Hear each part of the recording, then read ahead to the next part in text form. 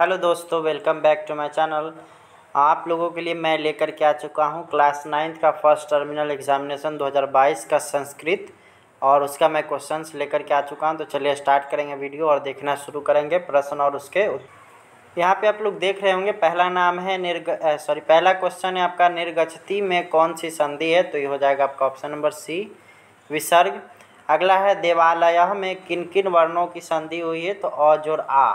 अगला सवाल हम लोग देखेंगे तो गणेश का विच्छेद क्या होगा? तो गण, ज़ोर ईशह अगला हम लोग अगर सवाल देखेंगे तो ये आपका आता है यहाँ पे संधि के कितने भेद होते हैं? तो संधि के तीन भेद होते हैं, यानी ऑप्शन नंबर सी। अगला सवाल हम लोग देखेंगे, अ, ज़ोर, ई में कौन सा नया वर्ग बनेगा? तो ये हो जाएगा आपका ऑप्शन नंबर डी, ए।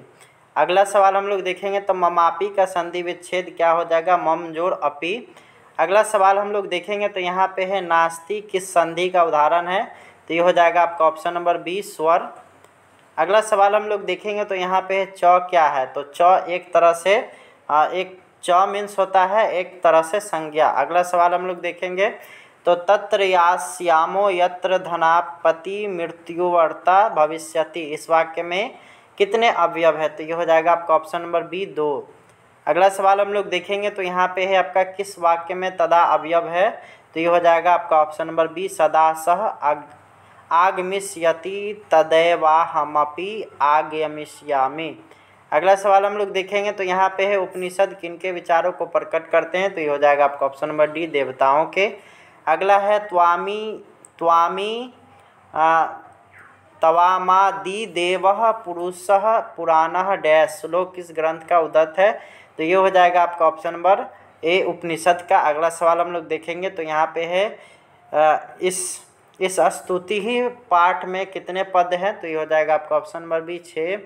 अगला हम लोग देखेंगे तो वाणी किसको बिना प्राप्त किए लौटती है? तो ये हो जाएगा वाणी जो होता है, वो मन को प्राप्त किए बिना लौटती है। अगला सवाल हम लोग देखेंगे तो यहाँ पे है, मानव का दुर्जय दुर्जय शत्रु कौन है? तो ये हो जाएगा आपका ऑप्शन नंबर सी ईर्षा अगला है, संसार का सबसे प्राचीन साहित्य कौन सा है? तो वह हो जाएगा आपका ऑप्शन नंबर ए, वेद।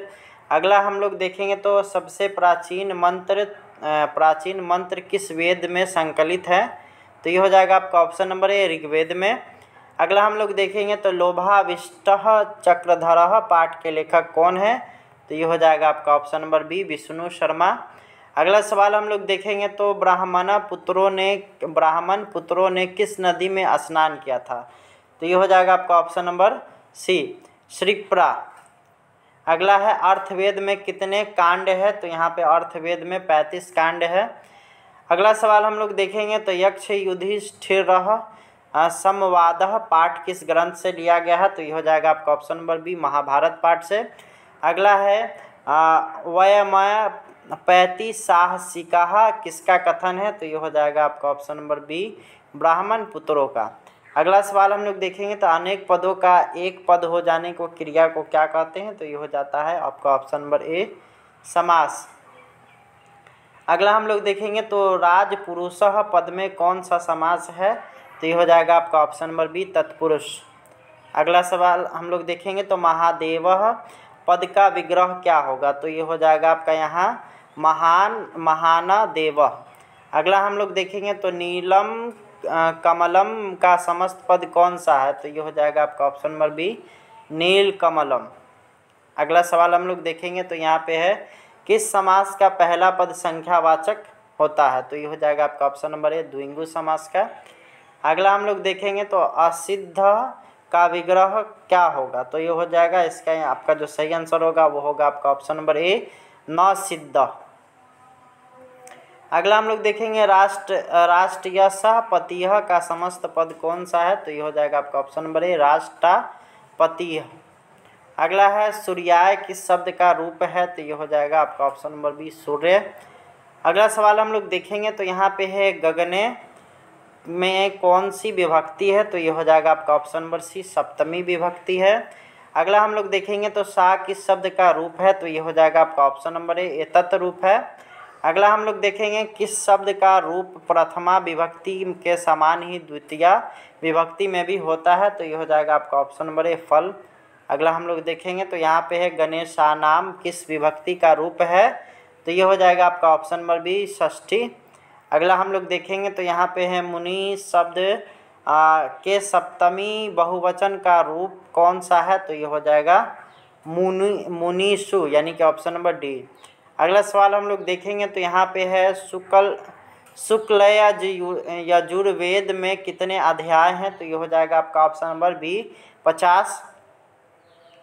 अगला है शिक्षक संस्कृत का महत्व कब बताएँगे? तो ये आप इस कहानी को पढ़े होंगे तो उसमें आएगा आज यानी कि आज। अगला है कौन श्रेष्ठ व्या, व्याकरण थे? तो ये हो जाएगा आपका ऑप्शन नंबर सी पानिनी अगला हम लोग देखेंगे तो यहाँ पे अगला क्वेश्चन है, आचार विचार और भावनाएँ किस कक्षा में है? सॉरी किस भाषा में है? तो ये हो जाएगा आपका ऑप्शन नंबर ए संस्कृत। अगला है, विरलम का अर्थ क्या है? तो ये हो जाएगा आपका ऑप्शन नंबर बी दुर्लभ। अगला सवाल हम लोग देखेंगे तो कितने युवक शास्त्र पारंगत थे? तो ये हो जाएगा आपका ऑप्शन नंबर बी तीन। अगला सवाल हम लोग देखेंगे तो ज्ञान भारह क्रिया बिना पाठ किस ग्रंथ का? संपादित अंश है तो ये हो जाएगा आपका ऑप्शन नंबर ए, हितोपदेश। अगला सवाल हम लोग देखेंगे तो यहाँ पे है, स्त्री पुरुष सब वृक्षों के प्रति मम, ममताशील थे यह किस नाटक में वर्णित है तो ये होगा आपका ऑप्शन नंबर बी मृक्ष कटी कम। अगला हम लोग देखेंगे, सूर्या तापित ज्येष्ठ ज्येष्ठ मास का वर्णन किसने किया था तो ये हो जाएगा आपका ऑप्शन नंबर बी, कालिदास ने। अगला सवाल हम लोग यहाँ देखेंगे तो ग्रीष्म के ताप में, ताप से संतप्तों की रक्षा कौन करता है? तो ये हो जाएगा आपका ऑप्शन नंबर बी वृक्ष। छियालीसवा नंबर क्वेश्चन अगर हम लोग देखेंगे तो अहो अक्स अस, अस्माक में कश चतुर्थे मूढ़ केवल बुद्धिमाना किसने कहा था? तो ये हो जाएगा आपका ऑप्शन नंबर बी कनिष्ठर ने। अगला हम लोग देखेंगे तो यहाँ पे है अभी, अभिहितम का अर्थ क्या है? तो ये हो जाएगा आपका ऑप्शन नंबर बी कहा। अगला सवाल हम लोग देखेंगे तो यहाँ पे ब्रह्मा भी किसको प्रसन्न नहीं कर सकते हैं तो यहाँ पे हो जाएगा आपका ऑप्शन नंबर सी अधिकचरे ज्ञानी को। अगला है, किसकी दोस्ती दिन के दिन के पूर्वाहन की छाया की तरह है?